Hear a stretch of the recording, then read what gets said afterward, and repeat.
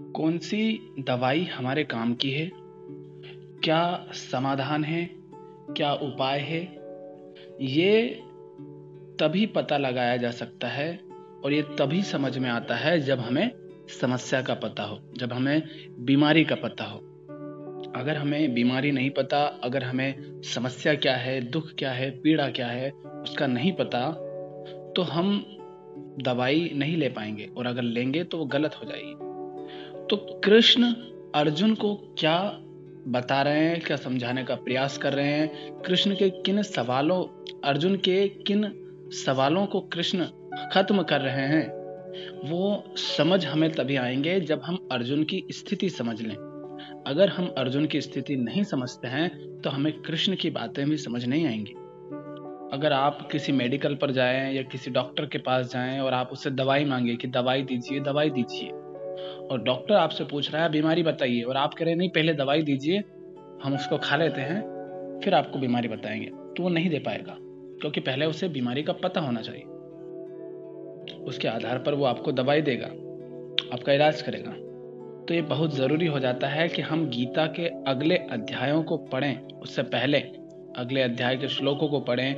कृष्ण अर्जुन से क्या कह रहे हैं, उसको समझें। उससे पहले आवश्यक है कि हम अर्जुन की स्थिति को अच्छी तरह से समझ लें। क्योंकि अर्जुन की जो स्थिति है, वास्तव में वो हमारी अपनी स्थिति है।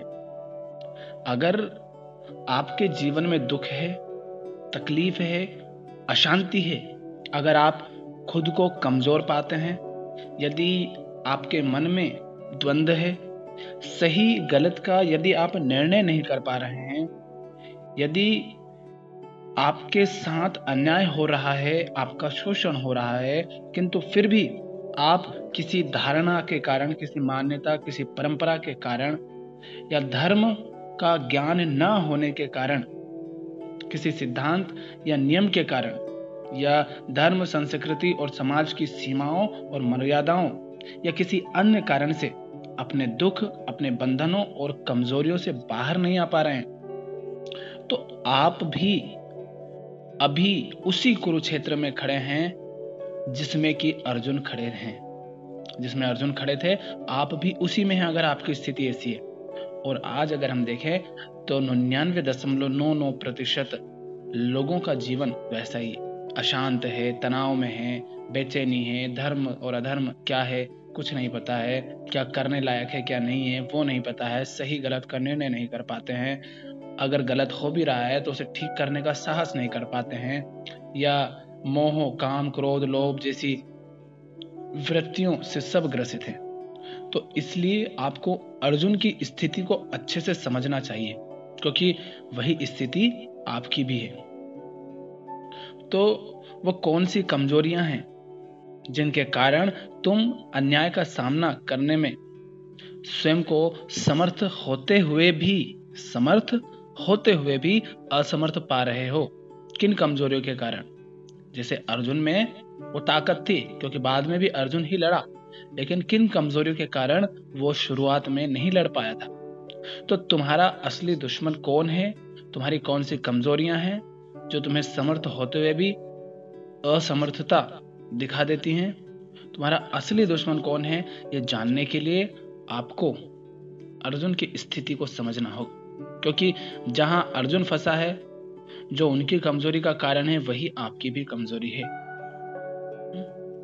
तो विस्तार से तो सारे श्लोक एक एक श्लोक करके मैं पहले ही बता चुका हूँ। आप उनको देख सकते हैं, सुन सकते हैं। और अभी एक अध्याय एक के सार के रूप में हम इस वीडियो में बात करेंगे कि क्या क्या घटनाएँ हैं क्या क्या बातें हैं जो अर्जुन कह रहा है क्या क्या घटनाएँ घट रही हैं। उन पर हम एक नज़र डालते हैं ताकि एक वीडियो में हम पूरे एक अध्याय को समझ सकें। तो संक्षिप्त में समझाने का प्रयास करूँगा। कुछ छूट भी सकता है।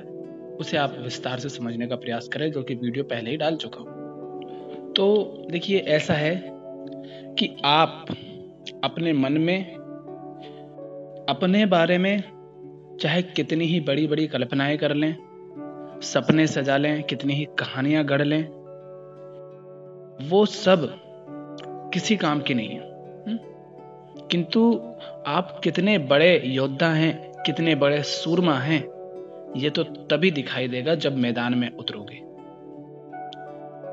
मैदान में उतरने से पहले अर्जुन की स्थिति भी वैसी ही थी। अर्जुन दौड़ा दौड़ा आया था। बिल्कुल जोश में आया होगा। और मैदान में पहुँचते ही उनकी स्थिति की, उनकी भी हवा निकल गई। हाथ कांपने लगे। तो आप क्या सोचते हैं और क्या आप वास्तव में हैं? इन दोनों में बहुत फ़र्क होता है। और आप क्या हैं, ये तो तभी दिखाई देगा जब मैदान में उतरोगे।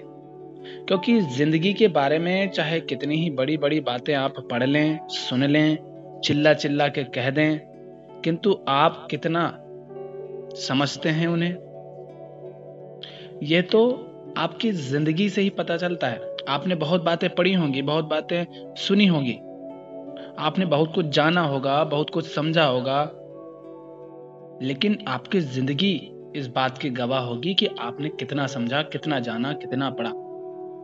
आपकी ज़िंदगी बताएगी कि आप जी कैसे रहे हो, आप जी कैसे रहे हो, इससे पता चलता है। आपने चाहे कुछ भी पढ़ा, कुछ भी जाना, वो किसी काम का नहीं, आपकी ज़िंदगी अगर बिल्कुल घटिया है, बिल्कुल डरी हुई है, सहमी हुई है, और भ्रम और द्वंद्व सब कुछ चले रहते हैं, तनाव है, अशांति है। तो आपने जो जाना, जो समझा वो कितना समझा? ये तो आपकी ज़िंदगी से ही पता चलता है। इसका प्रमाण आपकी ज़िंदगी होती है। और ये तब और सही ढंग से पता चलता है जब अर्जुन जैसी स्थिति होती है, जहाँ उचित और आवश्यक और सही जो उचित है, जो आवश्यक है और सही है, उसको चुनने की बारी आती है। धर्म के लिए जो उचित है, जो आवश्यक है और जो सही है, वह करने में अर्जुन की भांति आपके हाथ कांपते हैं या नहीं? आपका गला सूखता है या नहीं? आपके हाथों से गंडी छूटता है या नहीं? इसी से पता चल जाता है कि आप कितने बड़े धार्मिक हैं। यूँ तो आप बहुत चिल्लाते हैं कि हम धार्मिक हैं, हमने इतनी किताबें पढ़ ली हैं, हमने ये ये सुना है, ये ये पढ़ा है, ये ये जाना है, और आप बिल्कुल कपड़े पहन लेते हैं, न जाने कैसे कैसे मालाएँ पहन लेते हैं सत्रह तरह की कर्मकांड करते रहते हैं। पर आप कितने बड़े धार्मिक है, ये तब समझ आता है जब धर्म के लिए जो उचित और आवश्यक है वो करने की ज़रूरत होती है। तब आप कर पाते हैं या नहीं कर पाते हैं, या आप भी अर्जुन की तरह ही बिल्कुल उथले धर्म के, उथले ज्ञान से भरे हुए थे और उसके कारण अर्जुन वहीं पर अटक गए पहले ही। आपकी स्थिति भी अगर वैसी हो जाती है तो फिर आप धार्मिक नहीं है, क्योंकि धर्म का ज्ञान धर्म के नाम पर जो ज्ञान था, वो तो अर्जुन के पास भी था। उनको भी ज्ञान था, पर वो था कर्मकांड वाला ज्ञान। वेदांत से, उपनिषदों से उनका दूर दूर तक कोई संबंध नहीं था। इसीलिए अर्जुन की स्थिति फिर वह होती है। और असली अर्जुन हमें अंत में जाकर देखने को मिलते हैं, जो वेदांतिक अर्जुन कहे जा सकते हैं। तो गीता के अध्याय एक में तो शुरू में तो ये होता है कि दुर्योधन द्रोणाचार्य को बताते हैं कि कौन कौन से अपनी सेना में योद्धा हैं, किस तरह से सेना की व्यवस्था है पूरी, सब कुछ समझाते हैं। तो आप ये देख सकते हैं कि चाहे आप धार्मिक हो या धार्मिक, पर जो अधार्मिक व्यक्ति होता है, जो सिर्फ़ अपने स्वार्थों के लिए बड़ी बड़ी लड़ाइयाँ लड़ता है, और जो दुर्योधन है, वो सिर्फ़ अपने स्वार्थों के लिए, अपने लालच के लिए, अपने अहंकार के लिए ही लड़ाई लड़ रहा है। लेकिन उसके लिए आप देख सकते हैं कि वो व्यक्ति कितनी तैयारी कर रहा है, कितनी सूझबूझ से, कितनी कितनी बुद्धिमानी से सारे काम कर रहा है। पूरी सेना तैयार कर रहा है, समझा रहा है और एक दूसरे के खिलाफ उनको भड़का रहा है ताकि वो युद्ध करने से पीछे ना हट जाएँ। कहीं इनमें गुरु और शिष्य के बारे में कुछ प्रेम न जाग जाए। अनेक तरीके से वो कोशिश कर रहा है ताकि युद्ध में ये पूरी ताकत से लड़े। तो आप देख रहे हैं किस तरह से वो व्यक्ति जो सिर्फ़ अपने स्वार्थों के लिए जी रहा है, काम कर रहा है, वो कितनी मेहनत कर रहा है? आज भी हम देखते हैं जो बड़ी बड़ी कंपनियाँ बड़े बड़े लोग दिखते हैं, जो बहुत अधिक मेहनत करते हैं, जो बहुत ज़्यादा मेहनत करते थे, करते हैं, ज़्यादातर उनमें वो लोग होते हैं, जो सिर्फ़ अपने स्वार्थों के लिए, अपने लालच के लिए, अपने अहंकार को ही बढ़ावा देने के लिए काम करते हैं, और उसके लिए वो हर हद से गुजर जाते हैं, गलत से गलत और बिल्कुल नीचे से नीचा और घटिया से घटिया काम भी करते हैं। फिर उसमें चाहे प्रकृति का शोषण हो, नदियों, तालाबों को खराब करना हो, जानवरों को काट काट के मार मार के उनका शोषण करके धन कमाना हो, जनता का शोषण करना हो, चाहे जातिवाद के नाम पर समाज में भेदभाव फैलाना हो, धर्म के नाम पर चाहे लड़ाई दंगे करना हो या राजनीति करना हो, कुछ भी करना हो, जो व्यक्ति अपने स्वार्थों के लिए, अपने लालच के लिए, अपने अहंकार को बढ़ावा देने के लिए, पद प्रतिष्ठा, सम्मान पाने के लिए करता है। वो पूरी तैयारी के साथ करता है। और दूसरी तरफ़ इसी बीच हम देखते हैं अर्जुन को, जो अपने आप को धार्मिक कहते हैं। पर धर्म के नाम पर सिर्फ़ वो कर्म कांड में उलझे रह जाते हैं।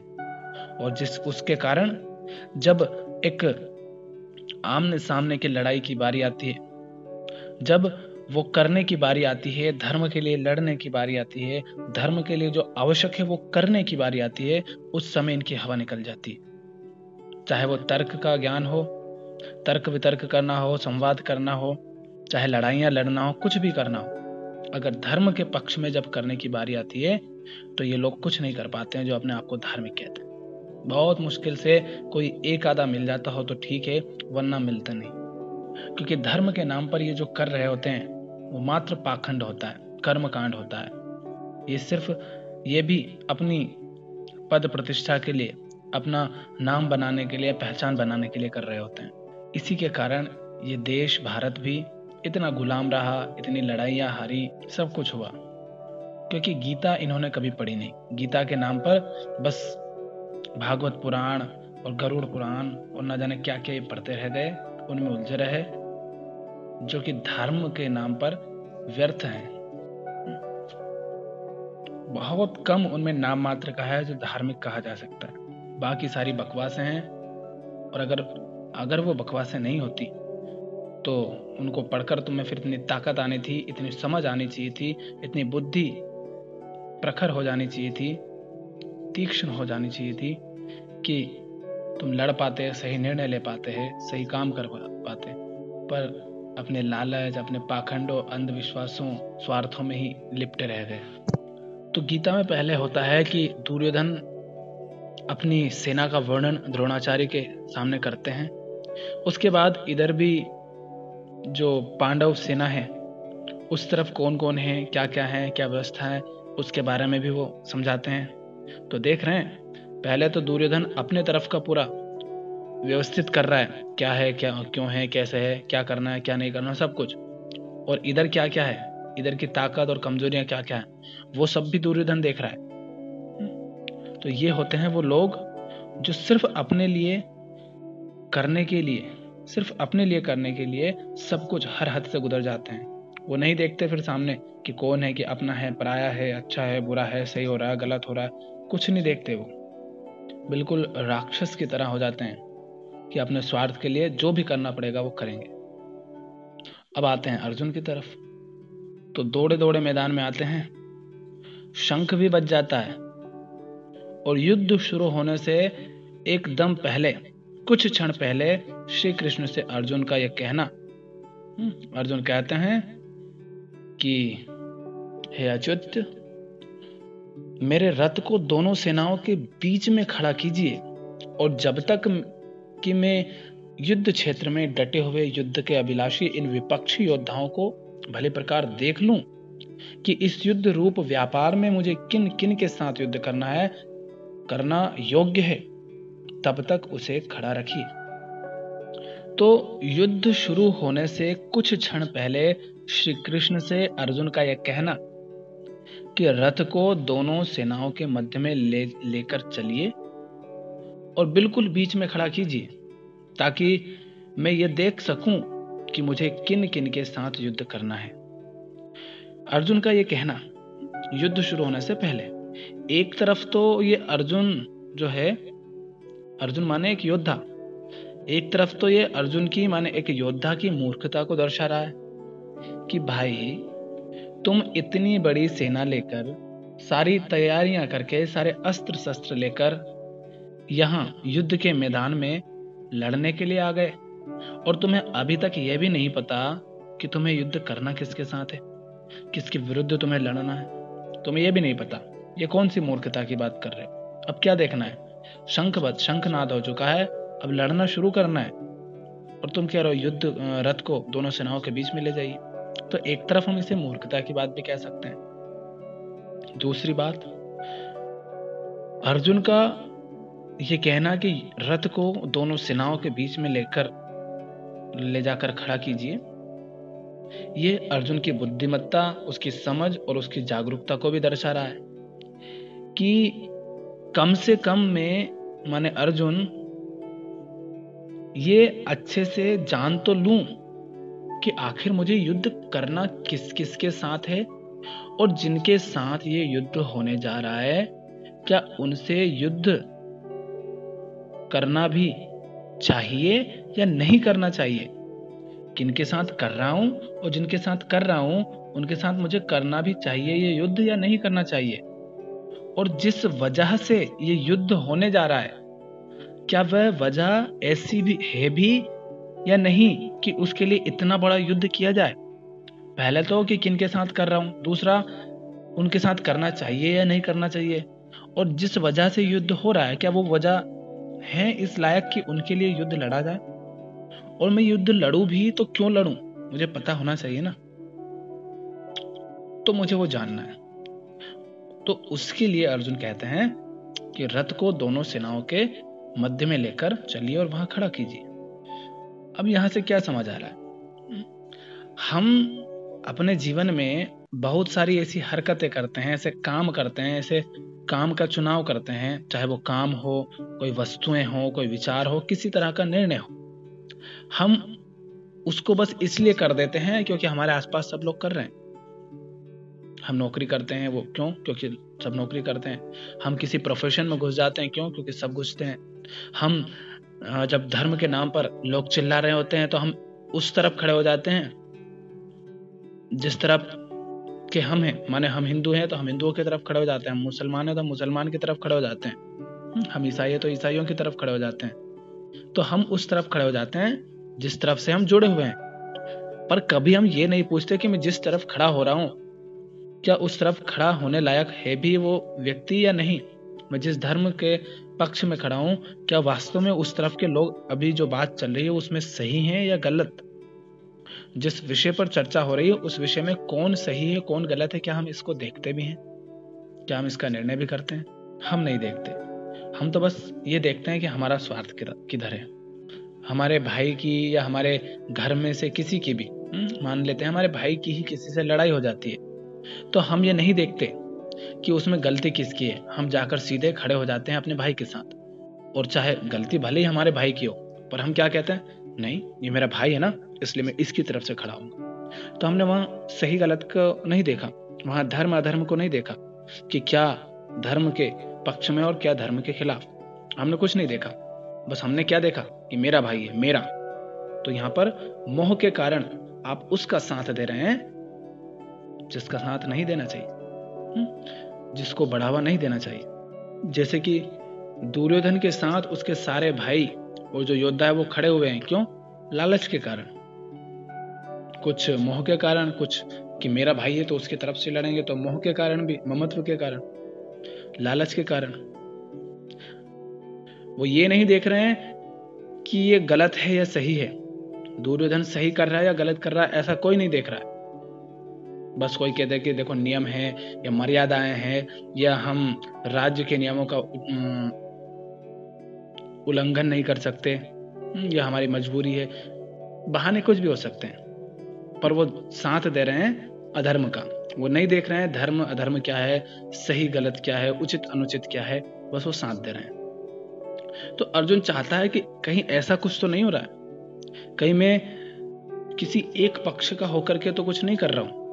इसलिए मैं निष्पक्ष होकर ये देखना चाहता हूँ, बिल्कुल बीच में ले जाकर खड़ा करिए, ताकि मैं दोनों तरफ़ समान रूप से देख सकूँ। हम्म? कहीं ऐसा ना हो कि एक तरफ़ का हो जाऊँ और दूसरी तरफ़ कम देखूँ।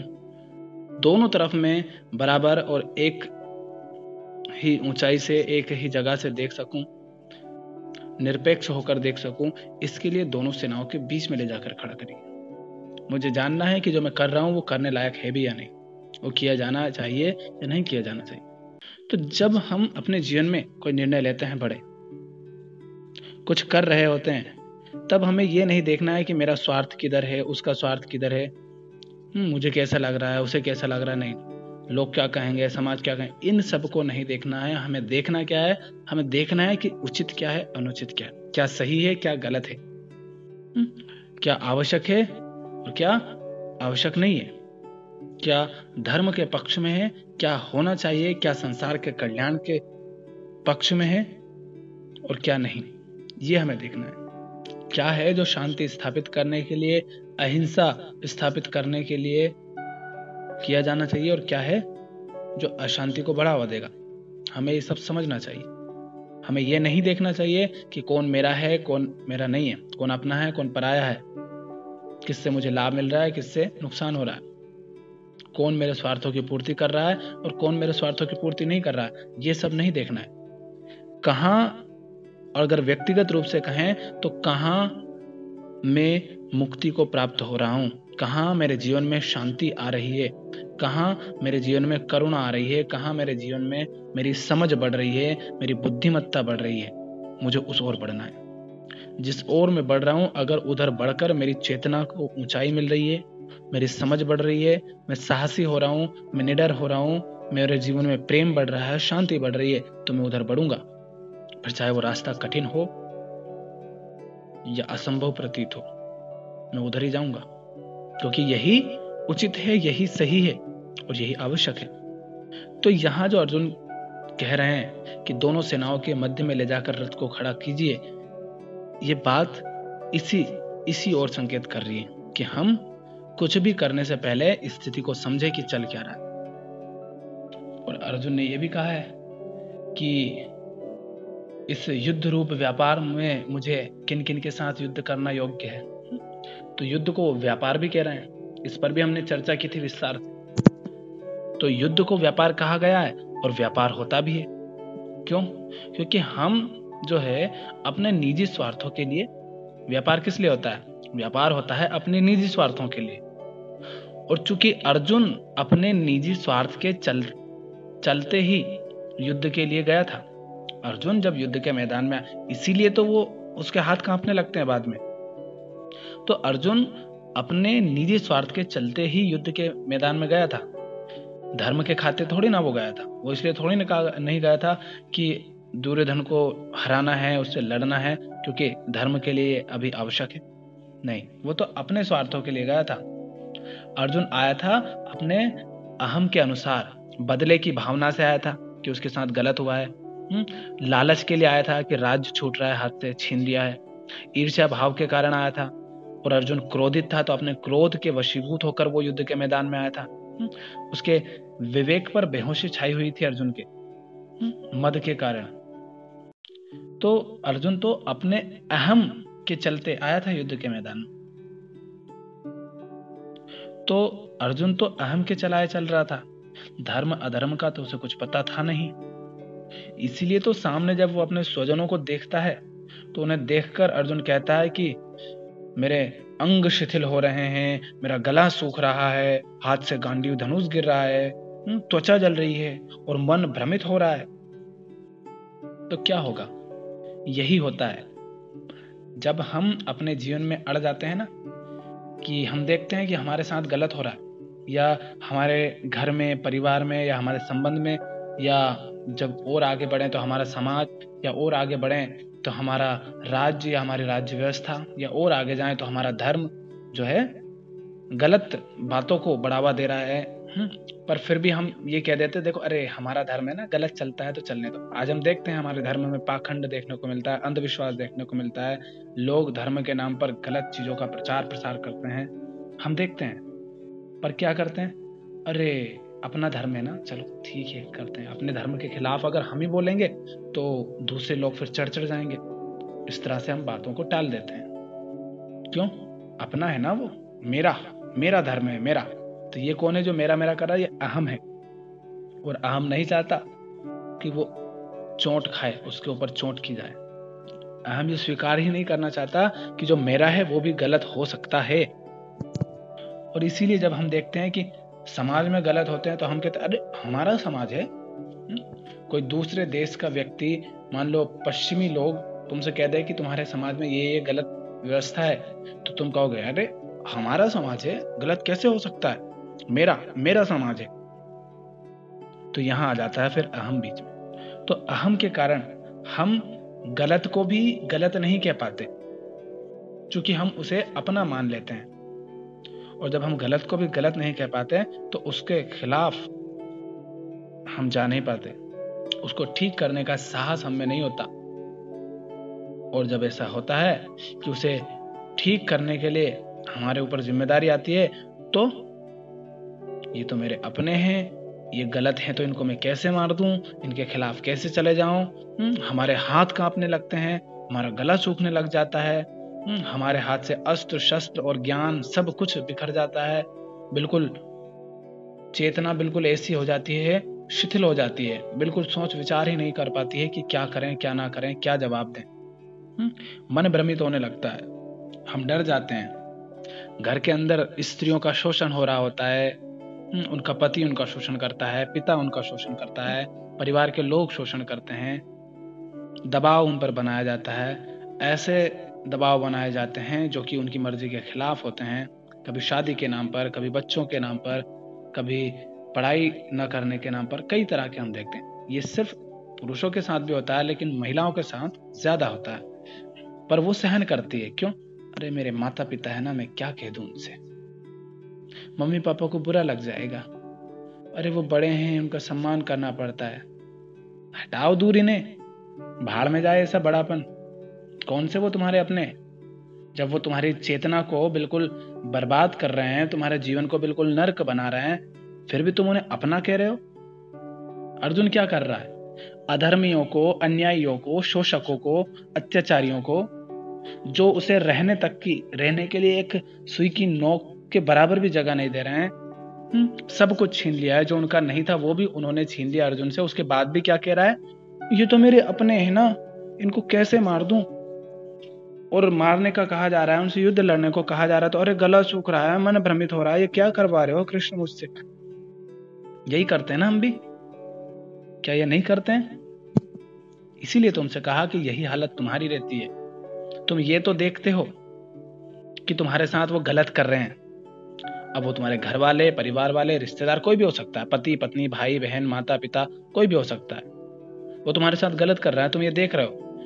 पर तुम उनके खिलाफ क्यों नहीं जाते? मेरे अपने हैं इनको दुख होगा। हो ही तो होने दो। कृष्ण तो यहाँ कह रहे हैं इनको मार तू। दुख की छोड़। दुख होगा या नहीं होगा अच्छा लगेगा या बुरा लगेगा? लोग क्या कहेंगे? संसार क्या कहेगा? हम्म, कि अरे देखो इसने अपनों को मारा।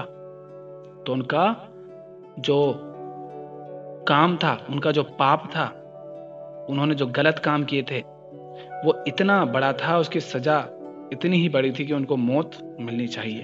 तो उनको मौत मिल गई। और वो आवश्यक भी थी।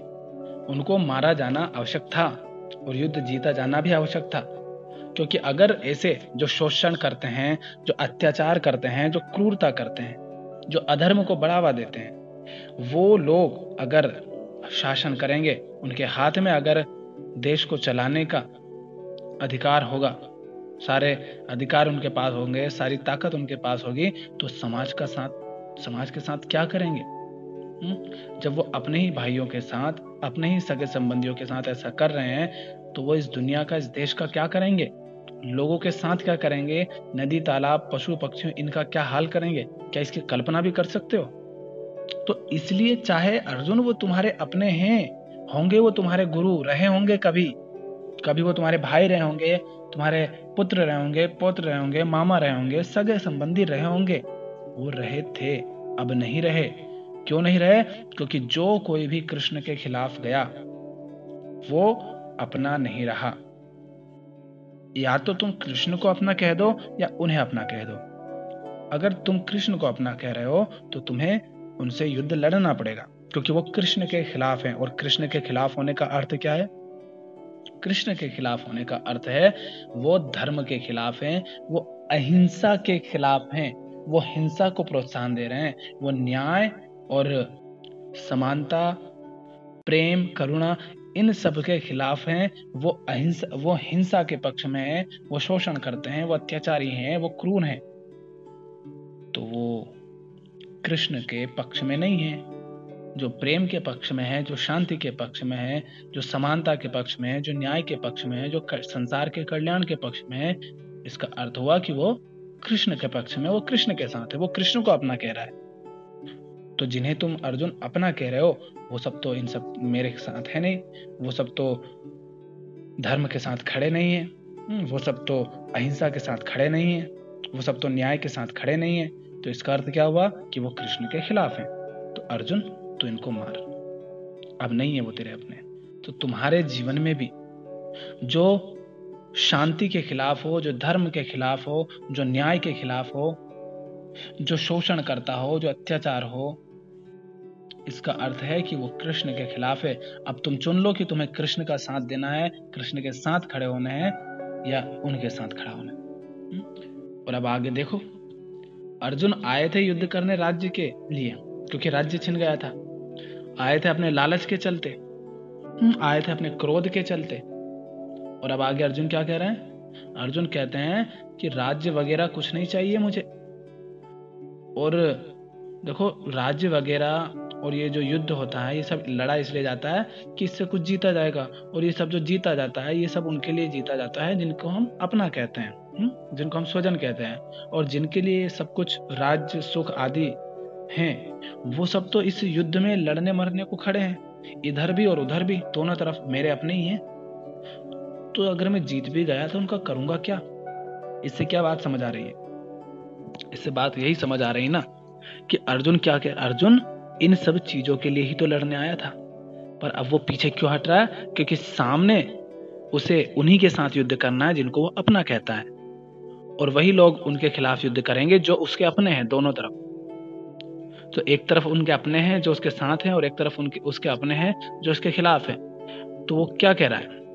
कि युद्ध, सुख, धन, दौलत, ये सब जीत कर तो इन्हीं के पास आती ना। इसका अर्थ क्या हुआ? अर्जुन संसार के कल्याण के लिए नहीं कर रहा है।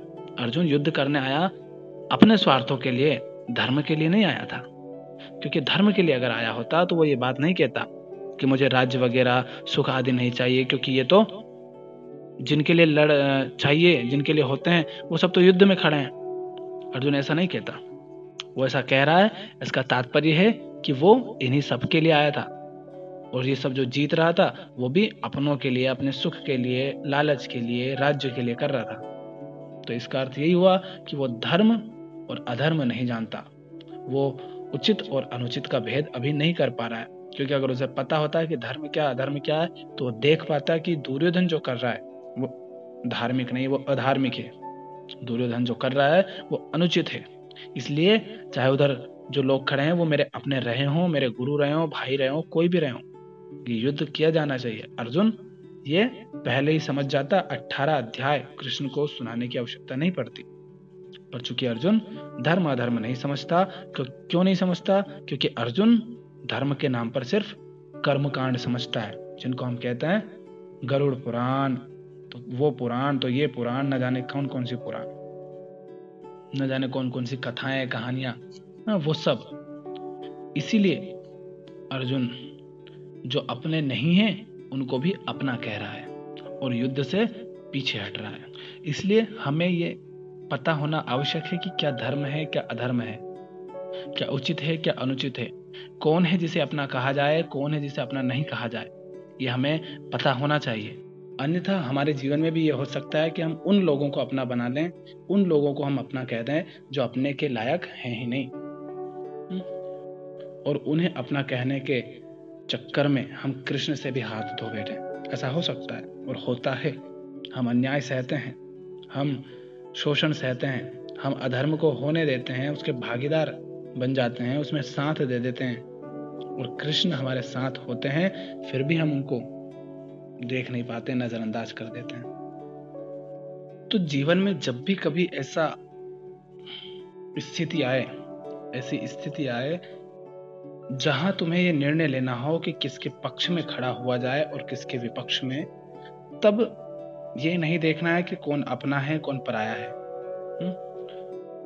कौन अमीर, कौन गरीब, कौन किस जाति का, कौन किस धर्म का, कौन छोटा, कौन बड़ा, कुछ नहीं देखना है हमें ये देखना है कि कौन धर्म के तरफ़ है, कौन शांति के पक्ष में है, कौन अहिंसा के पक्ष में है, कौन न्याय के पक्ष में है, कौन संसार के कल्याण के पक्ष में है, या कहो कौन कृष्ण के साथ है। हमें उस तरफ़ से खड़े होना है। फिर कृष्ण के साथ खड़े होने के लिए अगर हमें उनके खिलाफ भी खड़ा होना पड़ रहा है जिन्हें हम अपना कहते हैं तो हम खड़े होने से पीछे नहीं हटेंगे। जो हमें संसार के बंधनों से मुक्त करे जो हमें शांति दे जो हमारी चेतना को ऊपर उठाए हमारी समझ को हमारे ज्ञान को हमारे बोध को बढ़ाए हमें उस ओर आगे बढ़ना है। हम हमें अपने लालच अपने क्रोध अपने मोह अपने ईर्ष्या हम्म, अपने कामनाओं इन सब के आधार पर निर्णय नहीं लेना है। हमें उचित और अनुचित को देखना है, जानना है, समझना फिर निर्णय फिर निर्णय लेना है। और अब आगे अर्जुन कहते हैं कि कृष्ण, आप पृथ्वी तो छोड़िए, आप तीनों लोगों के राज्य भी मुझे देंगे। हाँ अगर इनको हरा कर तीनों लोगों के राज्य भी अगर मुझे मिलेंगे तो अपने स्वजनों को मारकर तो मुझे वो भी नहीं चाहिए। और अर्जुन कहते हैं कि इनको मारकर तो हमें पाप ही लगेगा फिर आगे कहते हैं कि इनको मारने के लिए हम योग्य नहीं है। लो भैया पृथ्वी छोड़िए हम स्वर्ग का भी त्याग कर सकते हैं इनके लिए तो। साफ़ दिख रहा है ना कि तुम अपने लालच अपने स्वार्थों के लिए काम कर रहे थे युद्ध लड़ रहे थे। हम भी अपने जीवन में जो भी करते हैं सिर्फ़ अपने स्वार्थों के लिए कर, कर रहे होते हैं। हम ये नहीं देख रहे होते हैं कि हम जो कर रहे हैं उसमें संसार का कल्याण हो रहा है या नहीं हो रहा है। और निष्काम कर्म और सकाम कर्म की जो बात कृष्ण करते हैं, वो देखने का सबसे अच्छा तरीका यही है कि तुम जो कर रहे हो, उससे संसार का कल्याण हो रहा है या नहीं हो रहा है। अगर तुम्हारे कर्म सिर्फ़ अपने स्वार्थों की पूर्ति के लिए किए जा रहे हैं तो वो सकाम कर्म है। और तुम्हारे कर्म अगर संसार के कल्याण के लिए हैं तो वो निष्काम कर्म है। और यहाँ कृष्ण आगे बताते हैं कि अर्जुन निष्काम कर्म करो और यहाँ जो कर्म है अर्जुन के, वो सकाम ही है। माने वो राज्य के लालच में है। कह रहा ना, पृथ्वी तो छोड़िए, तीनों लोग के राज्य भी छोड़ दूँगा।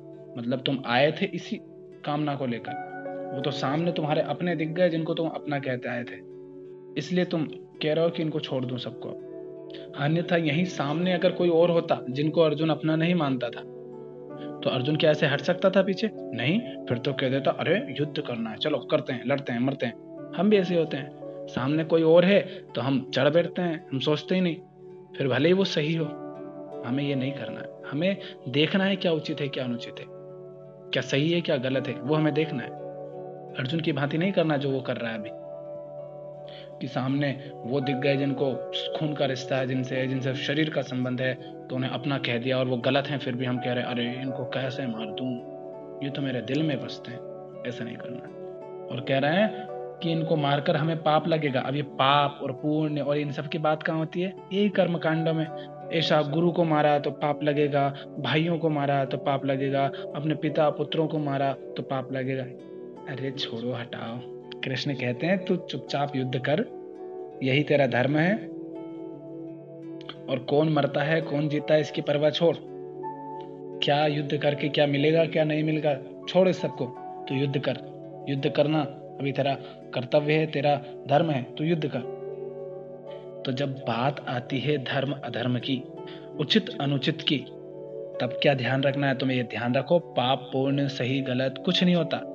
जो उचित है, जो अनुचित है, वो देखना है। जो उचित है, वो करना है। जो धार्मिक है, वो करना है। जो सही है, वो करना है। क्या पाप, क्या पूर्ण क्या अपना, क्या पराया, कुछ नहीं देखना। जो पापी है, जो अधर्मी है, जो शोषक है, जो अत्याचारी है, वो अपना कैसे हो सकता है? उसे नहीं मारना पुण्य कैसे हो सकता है? वो गुरु कैसे हो सकता है? वो भाई कैसे हो सकता है? वो पिता, पुत्र या संबंधी कैसे हो सकता है? ये तो ऐसी सी बात हो गई कि किसी पड़ोसी ने तुम मान लो तुम स्त्री हो और किसी पड़ोसी ने तुम्हारा बलात्कार कर दिया तो तुम जाकर रिपोर्ट कराए या दंगा कर दिया या उसे मारा पीटा। और तुम्हारे साथ तुम्हारा पति या तुम्हारा पिता तुम्हारा भाई बलात्कार करे तो तुम कहते हो अरे वो तो मेरे अपने हैं। हम्म, इनके खिलाफ कैसे चली जाऊँ? हटाओ दूर। कौन से अपने? तुम्हारे अपने होते तो वो ऐसा करते? नहीं करते। तो हमें उचित अनुचित देखना है, सही गलत देखना है। अगर कोई गलत कर रहा है तो फिर वो अपना नहीं रहा, अपना नहीं रहा। और उसके खिलाफ उचित कदम उठाना पाप कभी नहीं होता है। और अर्जुन कह रहे हैं कि इनको मारने के लिए हम योग्य नहीं है। वाह भाई, तुम कृष्ण को भी अयोग्य बता रहे कमाल है। तो ये सारी हरकतें हम करते हैं ना, जो ताकतवर है, जो हमें सही राह दिखाता है, हम उसे भी कमज़ोर, उसे भी गलत दिखा देते हैं। हम्म? यही हम करते हैं। अभी तुम कह सकते हो कि मैं जो कह रहा हूँ, ये तो गलत है। ये क्या किताब में लिखा था, तुम बात मान रहे हो, कर रहे हो? मैं कहा कह रहा हूँ? कृष्ण कह रहे हैं। फिर तुम ये भी कह सकते हो कृष्ण भी गलत है। और यही फिर अर्जुन कर रहा था। फिर अर्जुन को युद्ध करना पड़ा ना, जब जाना उसने। तो अब तुम पहले ही जान रहे हो, समझ रहे हो? तो जीवन में सही निर्णय लो। क्यों अत्याचार सह रहे हो? क्यों शोषण सह रहे हो? क्यों अधर्म को झेल रहे हो? क्यों हर किसी को अपना बनाए बैठे हो? क्यों इतने डर रहे हो? क्यों काँप रहे हैं तुम्हारे हाथ? क्यों तुम निर्णय नहीं ले पा रहे हो? मन भ्रमित क्यों हो रहा है? क्यों इतनी पीड़ा सह रहे हो? अगर किसी को अपना कहकर, स्वजन कहकर तुम्हें पीड़ा ही सहनी पड़ रही है संसार के साथ, अब वो तुम्हारे साथ गलत कर रहे हैं, इसका अर्थ यही है कि वो संसार के साथ गलत कर रहे हैं। क्योंकि अगर वो तुम्हें अपना कहकर तुम्हारे साथ गलत कर सकते हैं तो संसार के साथ कितना गलत कर सकते हैं? ये देखना है ना तुम्हें? तो माने वो संसार के साथ गलत कर रहे हैं। तो क्यों तुम संसार के साथ गलत होने दे रहे हो? वो करो जो संसार के कल्याण में है माने तुम्हारे हित में है। तुम्हारी मुक्ति में सहायक है तुम्हारे दुख दर्द पीड़ा से जो मुक्ति दे उसके पक्ष में करो।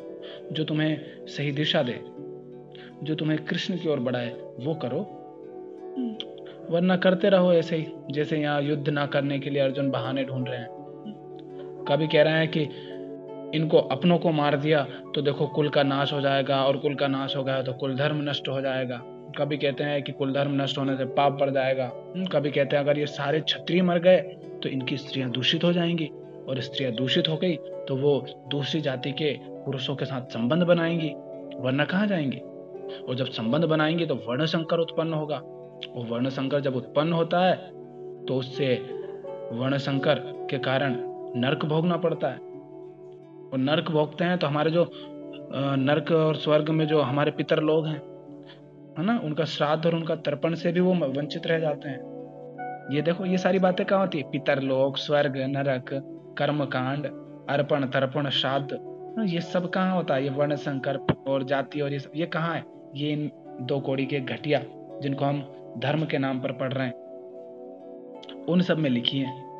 और इन्हीं के कारण तुम्हारी ज़िंदगी नरक बनी हुई है। कभी स्वर्ग के नाम पर कभी नरक के नाम पर तुम्हें डराया जाता है, भ्रमित किया जाता है, पाखंड फैलाया जाता है। कभी जाति के नाम पर तुम देख रहे हो कितने बर्बाद है हमारे देश और ये दुनिया। कितना शोषण हुआ है, कितना लड़ाई दंगे और भ्रष्टाचार होता है, अत्याचार होता है। और यहाँ अर्जुन जाति की बात कर रहा है। ये सब कहाँ पढ़ रखी है अर्जुन ने? ये सब वहाँ पढ़ रखी है, जहाँ हमने पढ़ रखी है, जहाँ हमने सुन रखी है। कथाएँ, कहानियाँ, और न जाने क्या क्या तो जब तक सही धर्म का हमें ज्ञान नहीं होगा, तब तक हम भी इसी तरह बहाने बनाते रहेंगे, इसी तरह की व्यर्थ बातों में उलझे रह जाएँगे, और इन्हीं के कारण भ्रमित होते रहेंगे, जैसे कि अर्जुन हो रहे हैं। ये सारी मूर्ता की बातें अर्जुन कर रहे हैं। क्यों? सिर्फ़ युद्ध से बचने के लिए, सही काम से, उचित कर्म से बचने के लिए, क्योंकि उसे करने के लिए साहस चाहिए। उसे करने के लिए उसे उन सब के खिलाफ जाना पड़ेगा जिन्हें वो अपना कहता आया था, क्योंकि वो उसके अपने हैं नहीं। उसे अपने खुद के खिलाफ जाना पड़ेगा, क्योंकि उसने खुद ने कुछ मान्यताएँ, कुछ धारणाएँ, कुछ परंपराएँ, कुछ सिद्धांत, कुछ विश्वास बना रखे हैं, वो सब टूटेंगे। कुछ उसके संस्कार हैं, जिनसे वो संस्कारित हैं, वो सब टूटेंगे, बिखरेंगे। माने उसे खुद के अपने खिलाफ भी जाना पड़ेगा।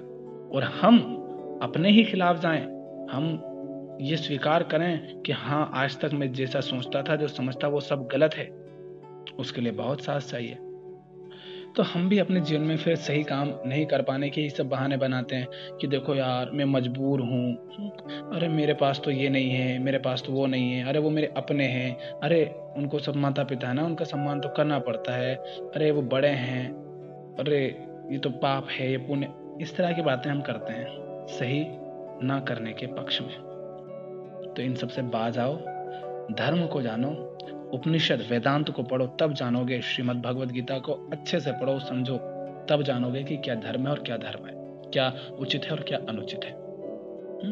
ये कथाएँ, कहानियाँ सुनना बंद करो। समाज में जितने भी गुरु घंटाल फिर रहे हैं, वो सब तुम्हें 99 परसेंट, नाइन परसेंट जितने भी हैं, वो सब तुम्हें मूर्ख बना रहे हैं, पागल बना है धर्म के नाम पर। तो उनको सुनना बंद करें। या तो कोई सही मिले तो उसे सुने उसे पढ़ें उसे समझें और नहीं तो स्वाध्याय करें। जो मूल ग्रंथ है वो लाएँ उनको समझने का प्रयास करें। हम्म, किसी बाबा जी को वो बड़े मंच पर बैठा ये देख कर ये मत मान लिया करो कि वो सही ही कह रहा है। या उसे बहुत सारे लोग सुन रहे हैं। बड़े बड़े लोग सुन रहे हैं देश विदेश के सुन रहे हैं हम्म, पढ़े लिखे लोग सुन रहे हैं। तो सुनने दो ना सुन रहे हैं तो। तुम्हारी ज़िंदगी अगर नहीं सुधर रही है, तुम्हारी ज़िंदगी अगर नहीं बदल रही है तो सब कुछ पाखंड है। तुम्हारी ज़िंदगी में प्रेम, करुणा, साहस, बल, स्पष्टता, समझ आए, तुम्हारी चेतना की समझ बढ़े, तुम्हारी चेतना की ऊंचाई बढ़े तो समझना कि तुम सही राह पर हो। वरना तुम्हारी ज़िंदगी वही दबी, कुचली, डरी, सहमी सी है, और तुम पूजे जा रहे हो। किस काम का वो? इसलिए सही दिशा में बढ़ो। और अध्याय एक के सारे श्लोकों को विस्तार से समझने के लिए जो पिछले वीडियोस हैं उन सबको पूरा देखो, ताकि और अच्छे से तुम्हें समझ आए। कोई प्रश्न हो तो कमेंट करके पूछे या इंस्टाग्राम पर मैसेज करें।